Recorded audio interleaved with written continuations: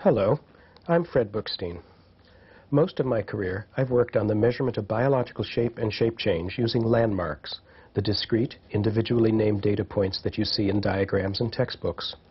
These points, like bridge of the nose or tip of the chin, are locations that have coordinates in every form of a series of images, so that they sample not only the geometry of the scenes one by one, but also the biological correspondence between forms, the biological homology map. Over the last 10 years, methods have been developed for averaging the shapes of landmark configurations, for correlating them with their causes or effects, and for statistical tests of group differences. More recently, we've been exploring ways of visualizing all these kinds of findings about shape change in one consistent graphical language of deformation. With the help of a flexible interpolation, the thin plate spline, any reconfiguration of a set of landmarks can be interpreted as a deformation taking the one set onto the other and as smooth as possible in between. This video introduces a new extension of these techniques to incorporate information about edges at landmarks. The work has all been joint with my colleague William Green, who developed the underlying mathematics with me and who also built the substantial program in C and X windows by which our stellar computer produced every frame of these demonstrations, most of them in real time.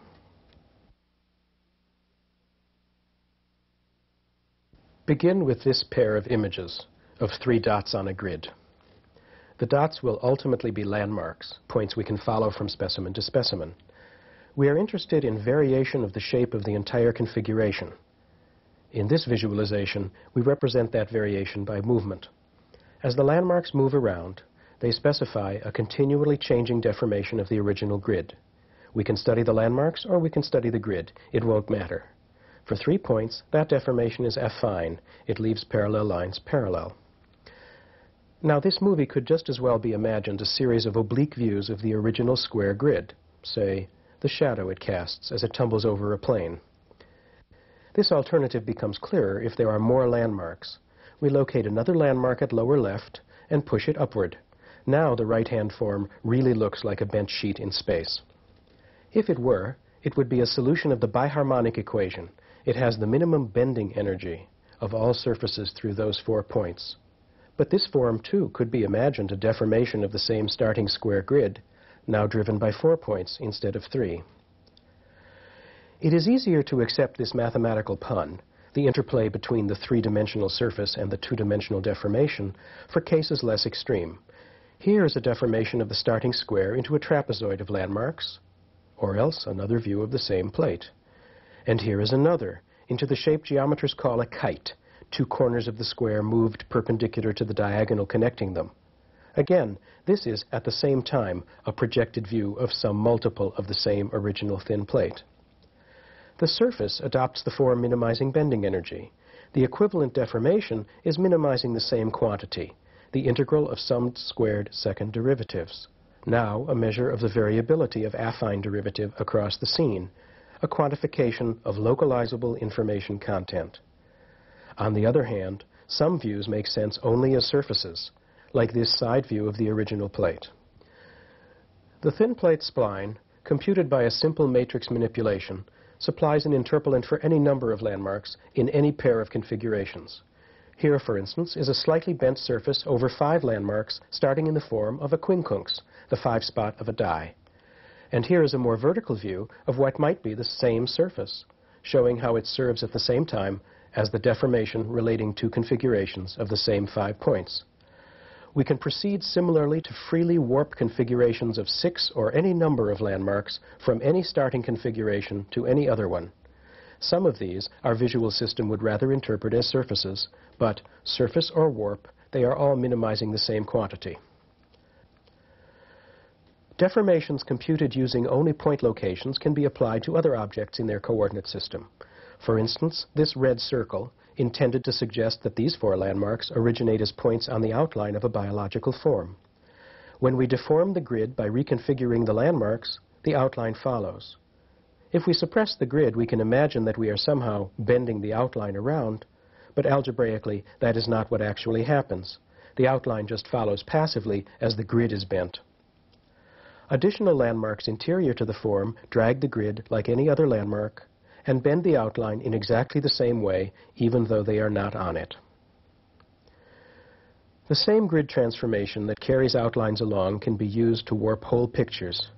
Here's part of the mid-sagittal section of a medical student and eight landmark points that will concern us in more detail later. We can grab one of these points at a time with a mouse and drag it around. The splined grid follows. This transformation has expanded the lower part of the frontal lobe and compressed the cerebellum a bit. Conventional resampling methods can unwarp the entire starting picture in accordance with this grid to arrive at this extrapolated mid-sagittal section for the same medical student after she has spent too much time in the library. The techniques so far allow a useful form of image averaging. Here are 10 landmarks, placed at what turned out to be the average of 14 individual shapes one set for each of 14 mid-sagittal images like the exemplar you just saw. We located these landmarks in each of the 14 forms. Here's the configuration for the first student, for instance. And we used them to drive an inverse warp, an unwarping, so to speak, that brings each of the original mid-sagittal scans into the same coordinate system, the average of all 14. This scene, in other words, is what this student's brain would have looked like if it had its own specific gray levels, but precisely the average geometry, as far as these 10 landmarks are concerned. Here is another case, shown as a warping of the standard landmark set, and the unwarping of his specimen image, and so on. After unwarping all 14 individual images, we have a collection of scans all in the same coordinate system. The separate images can be averaged there, resulting in this picture. The regions from which the landmarks were taken are fairly unblurred, of course, but so are some others. The arch of corpus callosum, the curves of pons and ventricles, the line of the chiasm. This impressive result loses a bit of impact if you compare it to another average based on a subset of only four of the preceding 10 points, selected by statistical criteria that extract the largest scale features of variability of the full set of 10, and so make for a much smoother unwarping. At left here is the four-point average, at right the 10-point. Although you can tell which is which, for instance, genu of corpus callosum is blurred on the left and not on the right. They are remarkably similar. So the list of landmarks underlying an averaged picture need not make much difference for the quality of the resulting image. But let's read this same equivalence backwards. Augmenting a scene by more and more points may make little difference for the quality of other visual and statistical aspects of the scene, such as the undesirable blurring of edges that afflicts both of these images. To sharpen the precision of this average, and so enhance its usefulness, we need to reach beyond landmarks to more of the original information in the medical image. Let me go back to the beginning, then, and introduce you to a distinct new variety of image warping parameter arising as a limiting case, a singular perturbation of the underlying thin plate spline. Here is a scene of six landmarks, four in the form of a square, unchanging from left to right, and two others near the center that lie horizontally at the left but shear downward by 45 degrees at the right. The thin plate spline here relaxes that shear outward from the moving segment toward the fixed landmarks in every direction, indeed, over-relaxes a bit. Past the corners of the square, the transformation induced is somewhat opposed to the shear inside, upward rather than downward at the right. We're going to examine a series of scenes in which that central segment becomes shorter and shorter while continuing to shear downward in the right-hand image. And I've moved the left endpoint of that segment to the center of the square. Its length now starts arbitrarily at about 10% of the side of the square. Varying the amount of shear alters the grid by multiples of that slope. Here, we have reduced the length of the segment to 5% of that of the square. At the right, the segment between the dots still slopes downward at 45 degrees, but the resulting grid transformation looks a bit milder than before. For instance, the grid line out to the first intersection now lies distinctly above the interlandmark segment. To reconstruct the deformation at 10%, we need to steepen this one at 5% by a factor that proves to be about 1.3. The shear attenuates more as the segment shortens further. Here's the 45 degree shear of a segment of length 1% of the side of the square. Clearly, it is much weaker at every grid intersection. And here is the equivalent transformation for a 1% segment sheared downward by an angle of tangent 2. This transformation looks remarkably like that 45 degree shear at segment length 1 tenth, and the factor of 2 is the ratio of the logarithms of segment length, a hundredth versus a tenth. And here's the transformation of a segment of length 1 ten-thousandth shearing down by 45 degrees. Of course, you can't see that there are two landmarks. At the finite distance of any grid intersection, close in or far away, there is hardly any effect visible. But if that very short segment is sheared further downward on the right until it has slope 4, then, again, the transformation is nearly the same as the one that sheared to slope 1 at segment length 1 tenth. And since 4 is the log of 1 ten-thousandth, we may have found the proper scaling. A careful algebraic workup verifies that the grid transformations induced by shearing segments of steadily shorter length, scaled up by the log of the length, converge quickly to a limiting deformation. Then we can draw our scene using only one landmark, not two, and a new graphical element, an edge element, or edgel, through the landmark. Bending the edgel around generates shears that are all multiples of the same underlying mapping to simulate rotation of the edgel by different angles. The approximation can't go too far. We can't rotate 90 degrees. But for small to moderate variation, such as corresponds to living humans, the linearization here is quite adequate. The scale of an edgel, roughly speaking, is the grid spacing at which the rotation is correct. Here, the original one-tenth. The limiting process we are pursuing is clear as well from the picture of the equivalent physical plate. In 3D, the edgel shear looks like it is twisting the plate by some sort of clamp fixed to its surface at that middle landmark.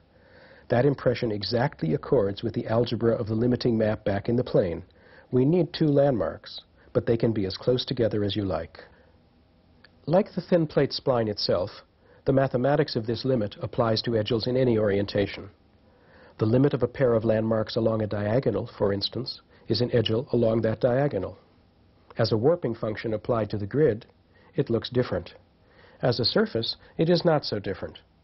We have imposed the same sort of edge along the diagonal of the starting square that before lay parallel to a pair of sides. The formula for this limiting perturbation has two pieces. One, the same for any starting scene, is essentially the function r log r, gradient of the kernel r squared log r of the underlying thin plate spline. But a second term is always present that compensates for the shifts of landmark position induced by the first term, however many other landmarks there are. The adjustment bends the hump of the r log r term more sharply where landmarks are closely spaced, and relaxes in a less sharply bent way wherever there is more room. Happily, the same mathematics extends to limits of arbitrary pairs of landmarks at close spacing. The limiting scene is now one of arbitrary shears of edge elements. These usually interact with each other and with reconfigurations of the landmarks themselves in very interesting ways. Change of a configuration of only landmarks may be decomposed into a superposition of partial warps, each an eigenfunction of the bending energy for fixed summed squared landmark displacements. Similarly, changes in scenes with multiple edgels can be described by their principal edgel warps, which summarize patterns of coordinated rotation of those edgels that are most bent or least bent, or of stationary bending for fixed summed squared rotation of the edgels. For instance, here is a set of seven edgels and one more landmark, and this is the edgel-driven warp of greatest specific bending per unit squared rotation. Here are the next few principal edgel warps, progressively smoother and smoother. Here is the second smoothest, and finally, the smoothest principal edgel warp. All have the same summed squared rotation, and all leave the landmarks fixed. As a set, they provide a very useful spectrum of features into which to decompose changes in scenes with edgels. They might serve, for example, to organize spatially distributed fields of flow. Free play with these scenes is one of the great pleasures of our workstation. After a couple of landmarks are moved, for instance, the set of seven edgels we were just looking over can be torqued playfully into this sculpted surface, almost impossible to see as any sort of plane deformation. Like the landmark-driven deformations, deformations of edgels apply to the other information in the picture plane. Here is a scene of four landmarks on a circle, with an edgel along the circle at one of them. Twisting that edgel bends the grid around in a way you have already seen. If the grid isn't drawn, the same transformation can be seen as bending the outline. drawing it inward to one side of the landmark, outward to the other side. The reflection of this transform in the normal to the edgel is more or less its inverse map. For more than one edgel, interplay between the boundary-based description and the grid-based description can be quite interesting. Here's the same circle, now with a pair of edge elements aligned with a square. When the edge elements shear in the same direction, the effect is that of lowering or lifting the center of the grid by a gradient of some r log r shape. The effect on the outline is difficult to put into words. When the edges shear in opposite directions, by comparison, the effect on the outline is easy to describe. It is the sharpening of the arc at left into a nose or beak. The underlying grid deformation now appears to have induced vertical strain throughout the interior of the circle. The three-dimensional thin plate corresponding to this change is a twist of the left edge of the square. It can also be thought of as opposite r log r gradients along the front edge and the back edge. When edges point at each other, as along a diameter of the circle, the grid transformations their rotations induce leave the circle pretty much alone, but lift the center of the grid or twist the diameter. The superposition of two of these diagonal schemes can rotate the interior with respect to the exterior, can place quite an anisotropy up the middle, or can move the interior smoothly toward one corner. Still holding to this square of landmarks, another assortment of shape changes comes when edges lie tangent to the outline at all four corners. Rotations at adjacent edges may be concordant or discordant. This form doesn't have a name, but the other principal edgel warp produces a sort of trilobite. Rotations at opposed edgels likewise may be concordant or discordant. While one of these forms is nameless, the other is that famous American agricultural advance, the Taco Bell. When the symmetry of the original square is broken, these principal edgel warps ramify into a very interesting series. Let us move one corner of the square, for instance, leaving the edgel tangent to the circle there. Even in this simple scene, there results a rich spectrum of outline shape changes. The most bent principal edgel warp grows an upper lip here at lower left, for instance. Taken with the other sign, it produces a nose. The edgel warp of next sharpest specific bending appears to be sucking in the tummy of this little form. The inverse warp droops outward at both ends. The second most gentle principal edgel warp, here, is a drooping toward the bottom at the bottom right. Its inverse droops instead toward the right at bottom right. Finally, taken with one sign, the edgel warp of least specific bending energy resembles our Taco Bell. Its inverse is the most interesting of all. The shape into which the circle is warped here is that of a cartoon character, the Shmoo, drawn by Al Capp for his daily strip Lil Abner, popular in the United States at mid-century. Here's the face, front leg, back leg, buttocks. The shmoo is an animal of obscure phylum that gives milk in quarts and lays eggs in cartons and is always eager to immolate itself for the comfort of its human companions. The drawing of this infinitely gentle creature is the gentlest possible outline through its four landmarks. The edge warps don't have to start with circles, of course. Here's a sketch of contours hand-traced from that averaged mid-sagittal section we saw a few minutes ago, and here are 10 landmarks upon it we can grab the vertex and drag it upward to create acrocephaly. We can grab the frontal lobe and shear it forward to make room for more medical knowledge. With this edgel and three others like it, optic chiasm, brainstem, tentorium, we can do a creditable job of matching contours on all 14 of our mid-sagittal images. How this works is clearest for outlines. The standard template would be placed over the individual scene in some arbitrary way, and then landmark by landmark, manually or automatically, the template is warped onto the case, curve by curve. Once the landmarks are placed, one notices that some anatomical edges don't align. That's what the edges are for. We twist them to arrive at a better overall fit. Of course, at the same time, this is instructions for a deformation of the standard geometry into that of the single case. This applies to raw pictures even better than to outlines. Start with the same averaged contour, but warp it directly onto the grayscale image, matching to image gradients. At the outset, a tentative set of landmarks from the template are located on the patient, and we search for matching failures. A warp from seven landmarks grossly misses the vertex. An additional landmark on the bony calvarium greatly improves the fit up there. Only now can we notice that some edges seem not to line up too well. The same sort of playful interaction we have already seen serves to make for a much more satisfactory match of template to image. Here, the leftmost edgel is a free dial corresponding to no particular local information, whereas the other three lie along image edges or image ridges themselves. Then they could in principle be aligned by local operations rather than by a human operator. As always, the matching constitutes a description of the specimen image as a warping of the standard. Again, running the deformation backward brings us to the image we might have seen had this specimen had the average geometry instead of its own. But now, that unwarping specifies not only eight points, but also four edgels. We may proceed to match landmarks and edgels to a second case and unwarp it, and so on. Finally, we average all 14 unwarped cases, now in a considerably more standardized geometry. Comparing this average, on the right, to the one using only landmarks, at the left, shows how the average picture has been sharpened just where we intended to sharpen it, along those edges that could be reliably located at the landmarks in most images.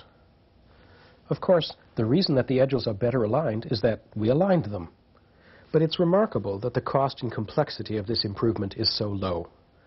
And because we are still in a very low-dimensional feature space, we can still do endophrenology. We can still compute empirical orthogonal components of sample variation and the like on the warps themselves, all the while the averages are sharper for studies of actual pictorial content. Our sample sizes are smaller for comparable statistical power of group discrimination, and so on. This form of analysis can be carried out regionally just as well. In the eight-point digitizing, corpus callosum didn't always line up well with the arch of the average contour. We can add a quasi-landmark in the middle of it, located where the arch is horizontal.